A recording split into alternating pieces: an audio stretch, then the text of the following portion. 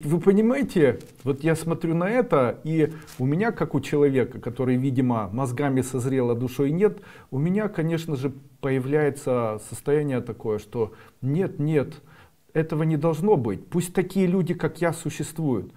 Я не противник церкви, пусть она будет, потому что если, популяр... если эти люди, они создают культуру, то это, наверное, не совсем хорошо. Потому что к чему же может привести культура? Культура может привести к тотальному оледенению людей. То есть давайте, пусть все только и хотят зарабатывать. Пусть никто не живет друг с другом, пусть все женщины сволочи. Это же ужасно. Как же мы будем жить-то, друзья мои? Мы же потеряем основу, золотую основу этого мира, семью. Понимаете? Семью, заботу о потомстве. Это должно существовать, пусть это будет. Пусть будет потомство, пусть будут люди, которые даже бедные, но будут держать друг другу за ручки. Пусть дети эти милые растут, пусть их никто не, не уничтожает.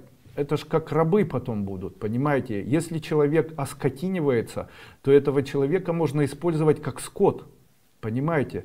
А что делают со скотом? На убой. То есть можно войну начать и их там отправлять, можно органы вырезать, можно делать какие-либо экономические или даже физиологические испытания, распылять что-то на этих людей. И мы должны понимать, что от обыкновенного человека это зависит. И мы должны в этом участвовать. Именно поэтому я говорю, мы же здравомыслящие люди.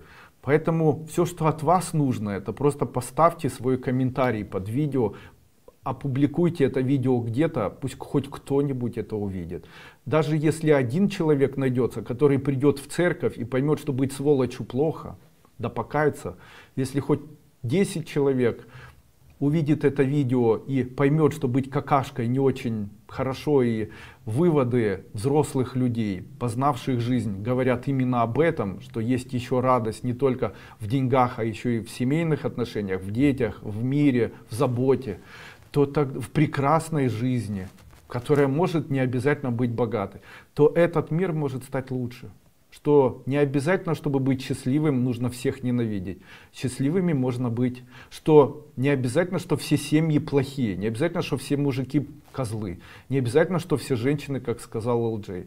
А все еще может быть по-другому. Доброта может победить. В свое время Достоевский сказал о том, что любовь может спасти этот мир.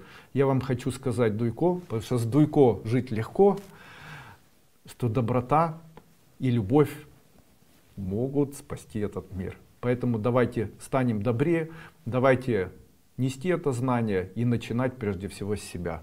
С вами был Андрей Дуйко. Эзотерики научат легко. Ваш Андрей Дуйко. До свидания.